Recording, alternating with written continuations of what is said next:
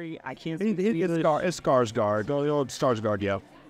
I think he did well Yeah. for what he what he did. Uh, he wasn't disturbing any guys. Did you notice that eye that went to the other side? Like, Yes. yeah, man, that bothered me. I'm like, you are completely.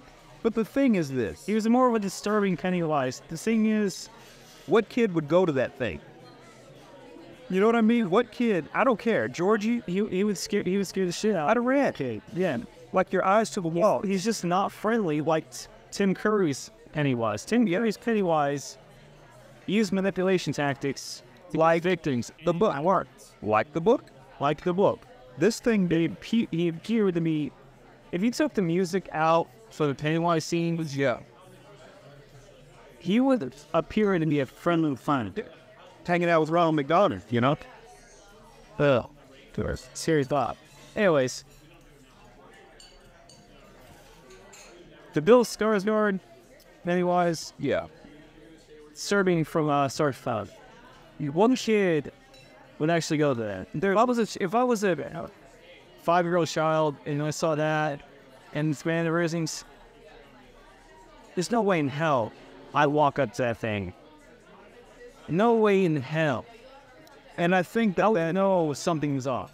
That's, but you know, here's my thing. We're thinking about now.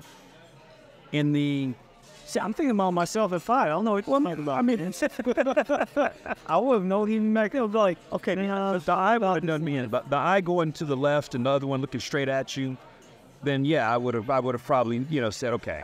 You know, at the very least, there were like handicapped kids in class that I was scared of because they look, they look different, look strange to it wasn't even that. It was the mannerisms of the Bill Skarsgård planet.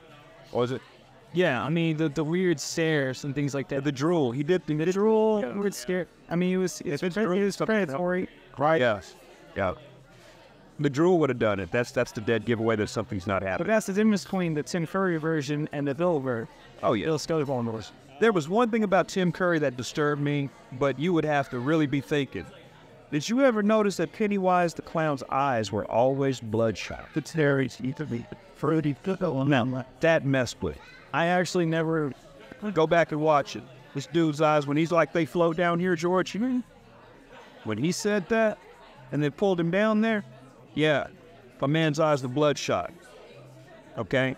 He looked like he had a couple of rounds of cognac, okay?